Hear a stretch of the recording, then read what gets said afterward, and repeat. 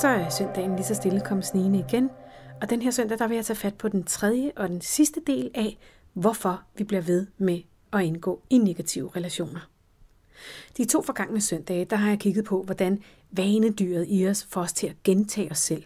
Desværre også der, hvor det ikke gavner os, og hvor det måske ligefrem er selvdestruktivt. Og på, hvordan det faktum, at vi ikke har lært af vores udfordringer, gør, at vi bliver ved med at blive stillet over for de samme udfordringer igen og igen på nye måder. Det kan starte som små kærlige vink, som det kvikke menneske med et trygt tilknytningsmønster opfatter med det samme, men som os andre, der er tynget af utrygge tilknytningsmønstre, slet ikke opdager, fordi vi bøvler med så mange andre ting, og som derfor gør, at de her kærlige vink altså ender med at komme igen og igen, og til sidst vokser sig til at blive seriøse vink med en vognstang. Så seriøse, at vi risikerer at blive skubbet helt derud på kanten af livet, hvor vi bliver dybt ulykkelige, angste og depressive. Energien. I dag vil jeg som sagt ret fokus mod vores energi. Altså den energi, der er inde i os, og som vi sender ud i vores omverden. Den er nemlig en vigtig faktor for, hvilke personer vi vælger at indgå i relationer med, og ikke mindst for, hvem der vælger at indgå i relation med os. Med far for, at denne her tredje del af serien om at blive ved med at indgå i negative relationer, den går hen og bliver en anelse wubu, så mener jeg altså ikke, at vi kan komme uden om det her med energier. Så her goes. Alting her i universet består af energi. Alting. Også såkaldte døde ting, altså dit bord og din sofa. Men altså også dig og mig. Og den energi, vi sender ud, den får vi tilbage i samme vibration, so to speak. Det vil sige, det jeg sender ud, er også det, jeg får retur. Helt enkelt, så betyder det, at hvis jeg nu for eksempel går og er vred indeni, så vil jeg have ekstremt svært ved at tiltrække glade og harmoniske mennesker ind i mit liv. Det vil nok snarere være mennesker, der også går med en masse indestængt vrede, jeg appellerer til, og omvendt.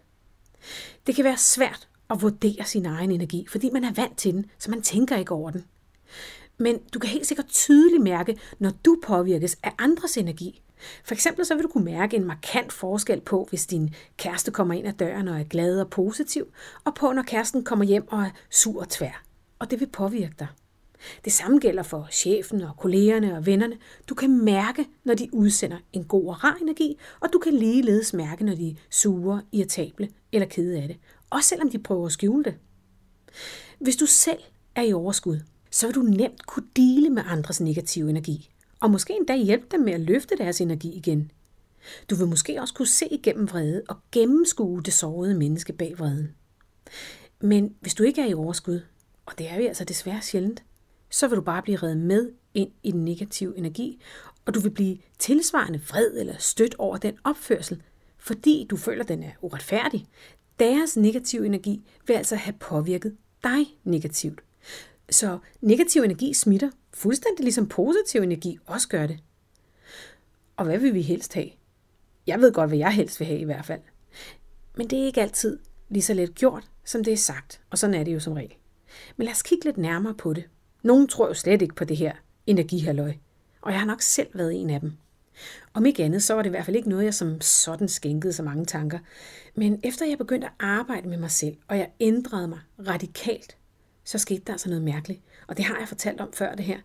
Fordi visse venner, de forsvandt pludselig ud i periferien, og nye kom til. Og det var altså nogle helt anderledes mennesker, der kom ind i mit liv, end de mennesker, der var glædet væk. Virkelig syret på en eller anden måde. Og det samme galt for min økonomi og mit arbejdsliv. Alting blev anderledes og bedre. Ikke fra den ene dag til den anden, men dog alligevel rimelig hurtigt. Der findes et ordsprog på engelsk, der lyder, Where focus goes, energy flows. Og det har jeg i hvert fald kunne mærke for fuld udblæsning i mit eget liv. Så snart jeg fokuserede på de gode ting og på alt det, jeg gerne ville, frem for på de dårlige ting og alt det, jeg ikke ville, så skete der en radikal ændring i min tilværelse. Og omvendt, lige så snart jeg ryger ned i et hul, hvor jeg bliver negativ, pessimistisk og sortseende, så trækker jeg alt muligt med mig ned i hullet. Penge, kærlighed, arbejde, trafikken, veninderne, ekspedienten i supermarkedet og alt muligt. Så i princippet, så kan jeg suge hvad som helst med mig ned i det sorte hul og få en dårlig oplevelse med det. Og humlen er, at det ikke handler om det, jeg trækker med mig ned, men om mig. Om min tilstand og om mit fokus. Derfor der er det så umådeligt vigtigt, at vi tager vare på os selv, og at vi fokuserer på det, vi gerne vil, og på det, vi godt kan lide, og at vi aktivt gør noget for at komme derhen, hvor vi gerne vil være. Og derfor er det også altafgørende, at vi hjælper os selv med at tage et skridt i den rigtige retning hver evig eneste dag. Altså at vi handler. For energien den skifter ikke af sig selv, og den skifter ikke, fordi du læser en enkelt selvhjælpsbog eller tager et kursus. Hver dag er et kursus. Hver dag skal vi øve os. Hver dag skal vi handle. Energien skifter først, når vi giver den betingelserne for at gøre det. Så hvis du for eksempel ikke får arbejdet med din indre vrede, sorg eller frygt, fordi du ikke lige har tid, fordi der er jo job, der skal passes, der er børn, der skal til fodbold, og mad, der skal laves, og jada, jada, jada, jamen så vil din energi stadig vibrere i det her leje, der er præget af din indre vrede, sorg eller frygt. Og du vil derfor fortsætte med at tiltrække kærester og mennesker i det hele taget med samme niveau af vrede og samme niveau af sårighed, altså gamle ar og traumer for eksempel, og samme niveau af utilgængelighed, selvdestruktivitet, mentalt helbred, selvværd, livssyn osv. osv. osv. Og omvendt, når du får løftet dig selv op i energi, så vil du også opleve at tiltrække mennesker med det samme niveau af glæde, selvforståelse, selvværd, livssyn, åbenhed, tilgængelighed, selvkærlighed og så videre. Så se nu at få de her små skridt i den rigtige retning, passet ind imellem arbejde, madpakker, træning, børn og pligter. Fordi hvis du virkelig gerne vil bryde med den dårlige vane med at gå ind i de samme dårlige relationer igen og igen, og du oprigtigt gerne vil stoppe med at tiltrække de samme problemer igen og igen, så er du nødt til at prioritere det. Og det gør du ved at hjælpe dig selv lidt hver dag. Det er som at spise en elefant. Du kan kun gøre det ved at tage en lille bid ad gangen. Men som sagt, så skifter din energi altså ikke af sig selv. Heller ikke selvom du måske synes, at du giver den betingelserne for det. Så nogle gange så er man simpelthen nødt til manuelt at skifte den.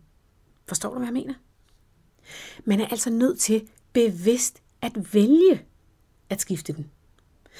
Udfordringen er bare, at man som regel ikke har lyst. Ja, det lyder måske mærkeligt, men hvis jeg nu stiller følgende helt banale eksempel op.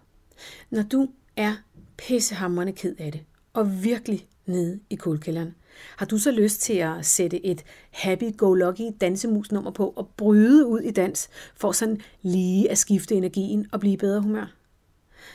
Nogle er vidderlig i stand til at gøre det her, og med stor succes, men jeg er ikke en af dem i hvert fald. Jeg har vidderligt ikke lyst til at skifte min energi på den måde. Jeg kan ikke.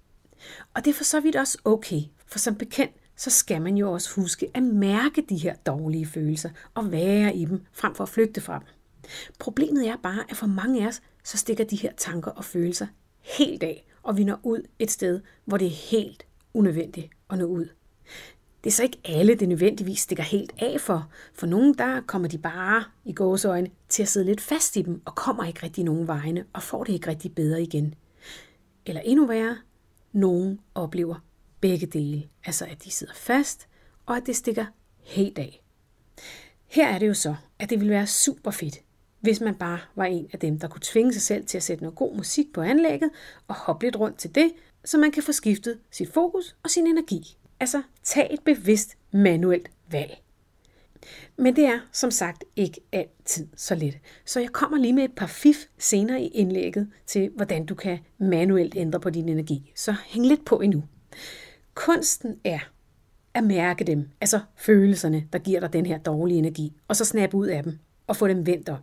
Det er sådan, man skifter sin energi.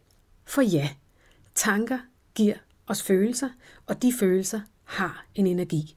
En energi, som vi selv påvirkes af, men som vi i den grad også påvirker andre med. Så den her energi, den er altså helt essentiel for, hvordan vi har det generelt, og for hvilke mennesker vi føler os draget af, men også for hvilke mennesker, der tiltrækkes af os. En ting er helt sikkert, sådan rent videnskabeligt, og det er, at alt består af energi, som jeg også startede med at sige. En anden ting er det her med tiltrækning. Kan energier med samme vibration virkelig tiltrække hinanden? Kan man i sandhed tiltrække noget andet og bedre, hvis man skifter og løfter sin energi? Som i, er der vidderligt noget om det her med loven om tiltrækning, det der også kaldes law of attraction? Det er et godt spørgsmål. Jeg har hørt nok mest til den side, der vil sige, at det er bare noget woo og det virker ikke en skid. Men hvad nu, hvis det gør? Det skader jo ikke at eksperimentere med det, vel? Så det har jeg gjort. Jeg tror dog ikke, at loven om tiltrækning, den kan stå alene. Jeg tror, der er mange andre love, der spiller ind. For eksempel loven om handling. Jeg har i hvert fald ikke selv nogen erfaring med, at man kan sætte sig passivt ned og tænke og føle sig til et bedre liv, eller til materielle goder for den sags skyld. Jeg har faktisk skrevet et blogindlæg om nogle af mine egne erfaringer med det her med loven om tiltrækning. Det er et blogindlæg, der hedder Cliffhangeren. Og nu er det sådan, at jeg ikke næste søndag, men næste søndag igen, altså i pinsen, går på pinseferie. Men der vil jeg indtale det her blogindlæg for dig. Så alle jer lydabonnenter derude, I vil altså få det her blogindlæg tilsendt på lyd i pinseferien. Som jeg før har forklaret på min blog, så slog min krise i 2015 mig så meget i stykker, at det faktisk var godt for mig på en måde. Det var nemlig ikke bare mit hjerte, der blev knust, men også mit sind. Det hele var bare et stort, blødende, åbent sår. Og det betød helt bogstaveligt, at jeg stod åben. Sådan rent mentalt. Jeg ville for alt i verden bare gerne hele. Og jeg vidste, instinktivt, at de her gamle lappegrejer, jeg plejede at bruge, de ikke ville slå til den her gang. Så pludselig så var jeg altså åben for nye ting, uden at jeg sådan egentlig tænkte over det. Det skete bare. Man kan måske nærmest tale om, at jeg var så meget i chok, at jeg var ligeglad med det hele.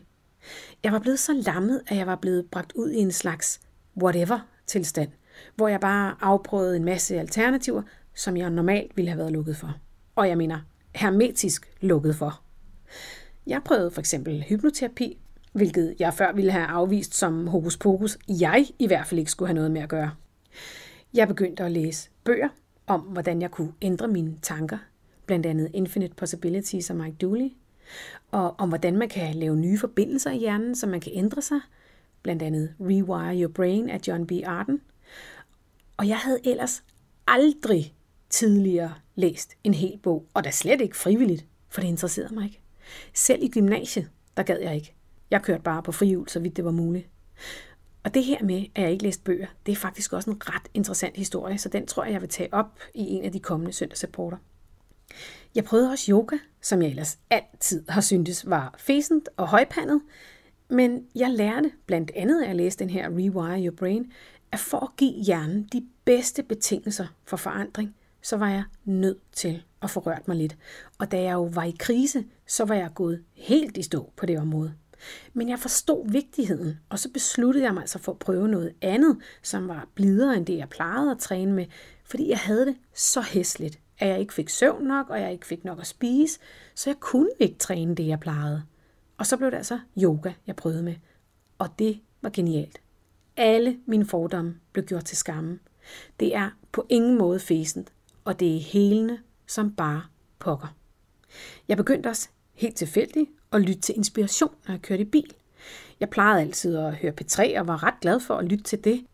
Men en aften, hvor jeg havde haft det rigtig dårligt, der havde jeg søgt på YouTube efter TED Talks about heartbreak. Og der fandt jeg en masse klip, som jeg gerne ville høre. Både TED Talks, men også alle mulige andre YouTube-klip. Og jeg kunne ikke vente med at høre dem, så jeg ville hellere lytte til dem, end lytte til radio, når jeg kørte i bil.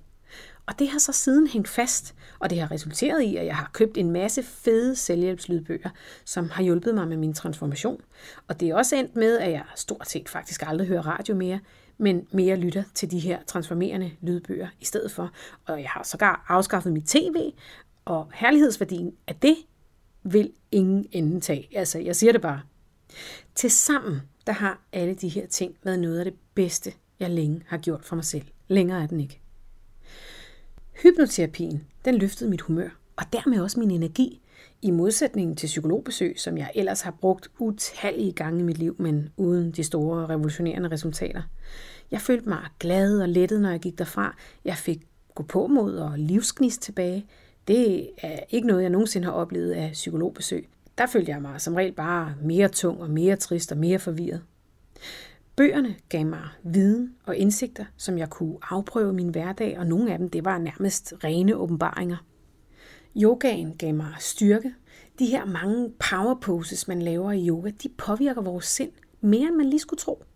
Yogaen, den kombinerer krop, sind og vejrtrækning, og det er altså lige det, man har brug for, når man er i krise. 90 minutter, hvor man giver sit sind ro, fordi man koncentrerer sig om at holde balancen og tage dybe vejrtrækninger, det beroliger nervesystemet mere end noget andet, jeg overhovedet kan komme i tanke om. Jeg tager klasser tidligt om morgenen, og jeg kan så kun anbefale dig at starte din dag på den her måde. Ikke bare når du står midt i en krise, men også når du har det godt, fordi det er nemlig forebyggende, fordi det netop ikke kun styrker din krop sådan rent muskulært, men også styrker dit sind og beroliger dit nervesystem. Lyden, den fik mig omprogrammeret, simpelthen. Jeg kan ikke sige nok gange, hvor meget det her med lyd har gjort for mig og stadig gør. Jeg kan lytte til ting, jeg har brug for at høre om igen og igen og igen, og jeg kan gøre det, mens jeg laver andre ting. Jeg hjernevasker altså mig selv i ordets bogstaveligste forstand, og i øvrigt mest positive forstand. Lige nu, der står jeg i en situation, hvor jeg har mødt en, og det vil I, kære lyttere, formentlig nok komme til at høre lidt mere om, fordi jeg har jo for vane at dele mine udfordringer, og i særdeleshed også, hvordan jeg får dem løst. Og parforhold, det er en kæmpe udfordring for mig. Jeg har ikke øh, været i et parforhold i de tre år, der har gået, siden min eks forlod mig der i 2015. Men nu er jeg så på vej ind i et, og det er ikke let, vil jeg bare lige sige. Så selvom jeg har udviklet mig rigtig meget i de her tre år, der er gået siden min totale nedtur i 2015, så er der stadig gamle mønstre, der hænger fast.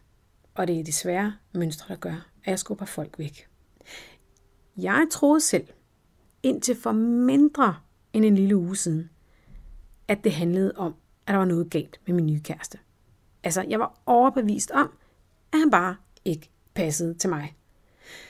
Men jeg har inden for de sidste få par dage, længere tid siden er det ikke, fundet ud af, at det slet ikke er det, det handler om. Fordelen er jo, at jeg så nu er blevet bevidst om, hvad det så handler om. Det har jeg ikke været før. Så måske kan jeg redde den på målstregen. Måske ikke, men jeg håber det. I vil helt sikkert komme til at høre nærmere om det her her i søndagsrapporten. Det tror jeg godt, jeg kan love jer. Og jeg kan allerede nu afsløre, at nogle af de ting, jeg har opdaget her, er ekstremt skamfulde. Og derfor er det afsindig hårdt og vanskeligt at lave om på. For jeg kan ikke holde ud, at jeg har det, som jeg har det. Og jeg tænker, som jeg tænker og gør, som jeg gør. Nå, men det jeg egentlig vil sige med den her smøre, det er, at jeg står over for en kæmpe udfordring lige nu. Og jeg har allerede mindre end to måneder inde i forholdet jogget rimelig grundigt i spinaten. Så det, jeg har gjort nu, det er, at jeg har været inde og søge på mit problem på YouTube og fundet en hundens masse klip, som jeg nu skal lytte igennem. Fordi lyd er the shit, når man skal lære noget nyt. Og nej, jeg har ikke særlig meget lyst til at lytte til de lydklip, fordi jeg har ikke lyst til at indse, at jeg har sådan et nederen problem. Men jeg er nødt til at indse det, for ellers så kan jeg ikke ændre på det. Så stay tuned for mere af det her i fremtiden. Okay, tilbage til det her med energien. Så hvordan gør vi rent praktisk, hvis vi gerne vil skifte vores energi? Som jeg nævnte tidligere, og som jeg lige har givet dig et eksempel på fra mig selv her, så er tvisten den, at vi tit ikke har lyst. Vi er jo for eksempel ikke i humør til sjov banjo-musik, når vi ligger i fosterstilling og græder vores øjne ud. Vel? Det samme gælder med lydklippene. Man kan føle en gevaldig modstand på at opsøge den her viden om sit problem, fordi man mest af alt har lyst til slet ikke at vedkende sig problemet, fordi det simpelthen gør for ondt, eller fordi det er forbundet med frygtelig, frygtelig skam. Men det behøver ikke nødvendigvis være skamfuldt eller smertefuldt, for at vi flygter fra det. Det kan også bare være, fordi det er svært, og til sidst så orker vi det bare ikke. Og så er det nemmest at lyve for sig selv og sige, at jeg har det okay med at have det her problem. Sådan er jeg bare, og så må man take it or leave it. Så vi forlanger altså, at andre bare må tage det eller lade være og acceptere os, som vi er. Samtidig med, at vi aldrig selv helt oprigtigt har accepteret det. Har jeg ikke ret? Et eksempel kunne være, jeg har for eksempel et problem med sukkerafhængighed, og det går mig virkelig meget på. Jeg er rigtig træt af, at jeg har så svært ved at lægge det på hylden, og jeg ærger mig hver gang over, hvor svag jeg er, når jeg giver efter for mine cravings. Mig, der ellers er så stærk og så god til at skabe forandring, jeg kan åbenbart ikke finde ud af lige netop det her problem, og det piner mig. Så det kan jeg jo så gå og slå mig selv i hovedet med, og det gør jeg sådan set også. Selvom at jeg godt ved, at det på ingen måde hjælper mig videre. Tværtimod. Så jeg ved altså, at det jeg gør er forkert. Det er jeg helt bevidst om. Men jeg gør det alligevel. Det her, det kender du sikkert godt, om ikke i forbindelse med sukkercravings, så måske med et eller andet andet i dit liv. Det kunne være vredesudbrud, jalousi, tilbagevenden til negative relationer, overvægt, spiseforstyrrelser, kontrol, kontroltab, people pleasing, selvdestruktive mønstre, der ødelægger parforhold og hvad ved jeg. Når vi er bevidste om vores problemer, så kan vi ændre dem, som jeg også sagde før. Men vi kan altså også havne et sted, hvor bevidstheden om problemet gør, at vi nærmest får det endnu værre med dem. Og særligt de af dem, der er smertefulde eller skamfulde. De tanker og følelser, der kører rundt ind i mig i forbindelse med mit nye parforhold, dem skammer jeg mig over. Og derfor giver det mig allermest lyst til at benægte dem og lade som om de ikke er det, og i stedet bebrejde min nye kæreste for alt muligt skørt. Og det har jeg så gjort. Not a good idea. Jeg kan i hvert fald godt allerede nu afsløre, at det ikke var en særlig god taktik. Men det vidste jeg jo sådan set godt, fordi den har jeg jo brugt i alle mine foregående forhold. Og de er som bekendt gået i stykker, samtlige af dem. Det, der sker, når vi skammer os over os selv, det er, at vi stikker fingrene i ørerne og råber la la la la la, og lader som om, at vi ikke kan høre, at livet siger, hey, der er noget, du skal lære her. Og så er det, at vi ikke opsøger viden om problemet, fordi vi kan ikke holde det ud. Og det er jo i hvert fald ikke det problem, vi har, vel? Nej, benægt, benægt, benægt. Jeg gider ikke at lede efter lydklip om sukkercravings, fordi det er bare pisse belastende, og jeg ved i øvrigt godt, hvad de vil sige, og jeg har hørt det hele alligevel, og det virker ikke på mig. Basta. Og ja, hvis det er min approach, så bliver det også mit resultat. Altså, at det ikke virker.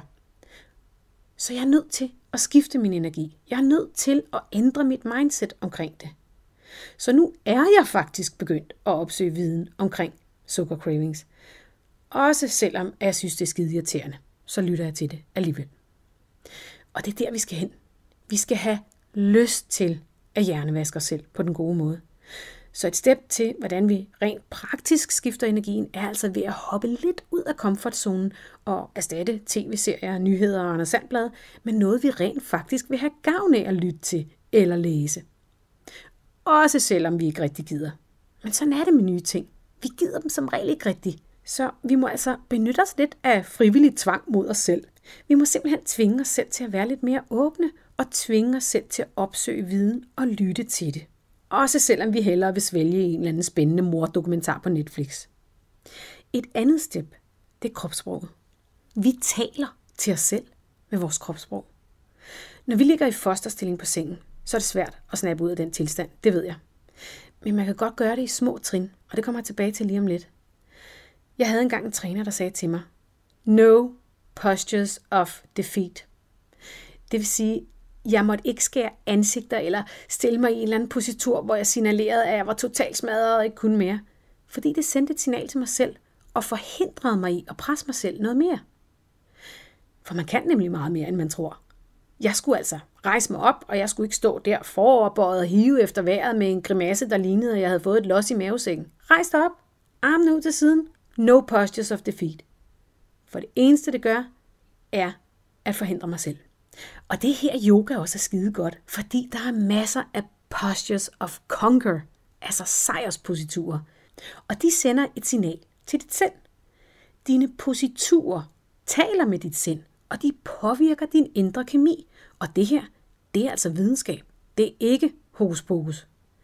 Jeg ved godt, at det kan være lidt meget at forlange, at man skal smile, hvis man har det helvedes til. Man har ganske enkelt ikke lyst, og det har jeg heller ikke selv. Men så kan man gøre nogle andre små ting, såsom det her med at rette kroppen lidt op, især ryggen, og skyde brystet lidt frem, løft panden, tage armene lidt ud til siden, og kombinere det eventuelt med et dybt suk.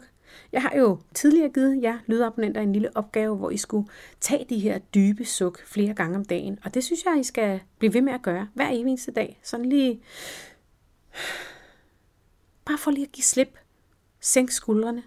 Slip kæberne.